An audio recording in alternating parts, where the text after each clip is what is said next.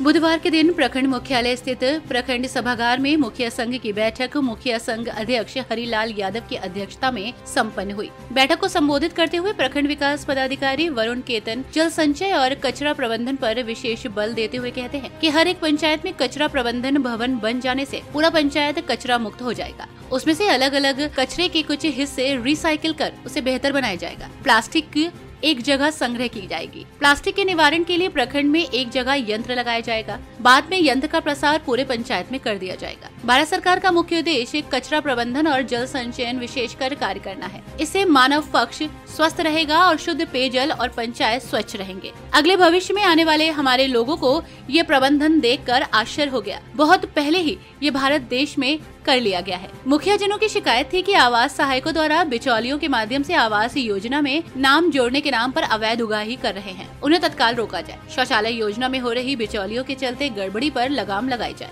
मुखिया जनों की मांग पर प्रबंध विकास पदाधिकारी वरुण केतन ने कहा कि किसी तरह की आवास योजना में नाम नहीं जोड़ा जा रहा है। सरकारी व्यक्ति ही शौचालय के कार्य करेंगे, पूर्वक किए गए कार्यो की जाँच होगी और उन पर कानूनी कार्रवाई होगी।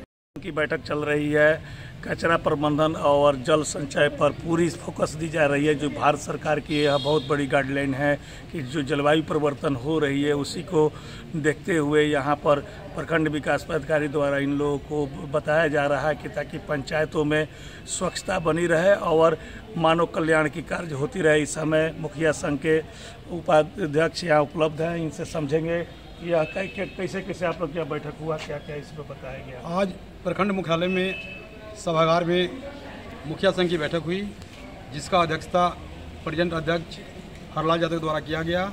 उसमें वीडियो सर के द्वारा बताया गया कि सभी मुखियागढ़ जो भी पंचायत से आते हैं, कचरा निवारण वाला काम सबसे तेज़ी में करना है, जिससे कचरा जितना भी पंचायत में फैलता है, उसका निस्तारण हो सके। और जल संचय की बिंदु पर भी बड़ी विशेष तरीके से बताया गया और कहा गया कि भविष्य में कचरा प्रबंधन जो काम कर रहा है, उसका जो भी काम हो रहा है भविष्य को देखते हुए किसी भी पंचायत में कचरा कहीं दिखे नहीं और सभी मेरा प्रखंड के जितने पंचायत है स्वच्छ बने उस पर विशेष करके फोकस किया गया। इन विशेष करके प्रखंड विकास पदाधिकारी द्वारा जल, जल संचय और कचरा प्रबंधन पर बात की गई।